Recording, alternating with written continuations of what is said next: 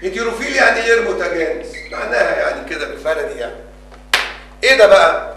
لو واحد مننا اتحقن ب antigen وهذا ال antigen اسمه أحمد زي ما اتفقنا إحنا ماسكين أحمد ده على طول.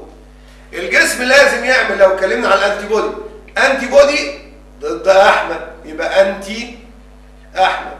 ولا ان anti أحمد دي ممكن برضه تبقى anti إبراهيم. يا خبر أبيض! إيه اللي جاب إبراهيم في الموضوع؟ أحمد يبقى anti أحمد إبراهيم anti إسماعيل anti إسماعيل.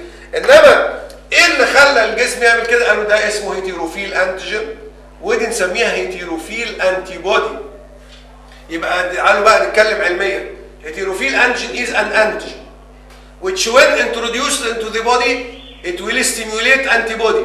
Not only against it but also against another antigen.